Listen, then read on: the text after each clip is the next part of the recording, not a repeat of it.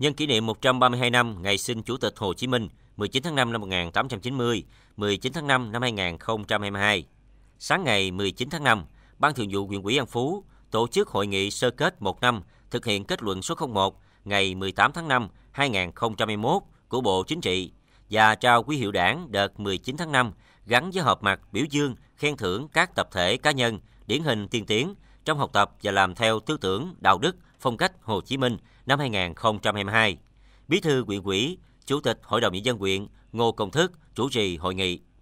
Tiếp thu kết luận số 01 ngày 18 tháng 5 năm 2021 của Bộ Chính trị khóa 13 về tiếp tục thực hiện chỉ thị số 05 của Bộ Chính trị khóa 12 về đẩy mạnh học tập và làm theo tư tưởng, đạo đức, phong cách Hồ Chí Minh.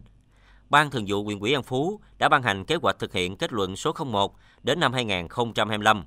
tập trung lãnh đạo, chỉ đạo các cấp quỹ, tổ chức đảng trực thuộc triển khai xây dựng kế hoạch thực hiện sát với tình hình, chức năng, nhiệm vụ của từng cơ quan, đơn vị, doanh nghiệp. Với nhiều cách làm đổi mới, sáng tạo, hiệu quả, trên địa bàn huyện ngày càng xuất hiện nhiều mô hình hay, những tấm gương cán bộ đảng viên, chiến sĩ gương mẫu tận tụy, nêu cao ý thức phục vụ nhân dân. Nhiều hội viên, đoàn viên đã tích cực tham gia các hoạt động từ thiện, nhân đạo, góp phần thực hiện thắng lợi các nhiệm vụ phát triển kinh tế xã hội của huyện.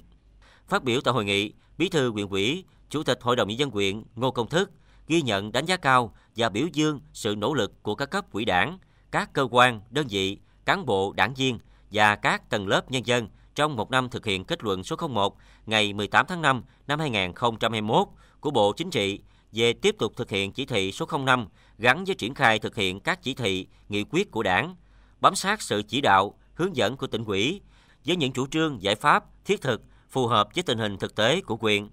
An Phú đã đạt được nhiều kết quả quan trọng trong học tập và làm theo bác, tạo sự thống nhất về nhận thức và hành động, phát huy được tinh thần trách nhiệm, gương mẫu của cán bộ đảng viên và các tầng lớp nhân dân. Dịp này, Ban Thường vụ huyện ủy An Phú khen thưởng 10 tập thể, 30 cá nhân tiêu biểu có thành tích xuất sắc trong học tập và làm theo bác, trao quy hiệu 40 năm và 30 năm tuổi đảng cho năm đồng chí cao niên tuổi đảng. Đây là dịp tôn vinh, ghi nhận và biểu dương các tập thể cá nhân điển hình tiên tiến trong học tập và làm theo tư tưởng đạo đức phong cách Hồ Chí Minh nhằm tạo sức lan tỏa mạnh mẽ trong toàn xã hội, thi đua học tập và làm theo bác, góp phần quan trọng vào việc thực hiện thắng lợi các mục tiêu, nhiệm vụ phát triển kinh tế xã hội, bảo đảm quốc phòng an ninh, xây dựng và củng cố hệ thống chính trị của địa phương trong sạch, vững mạnh.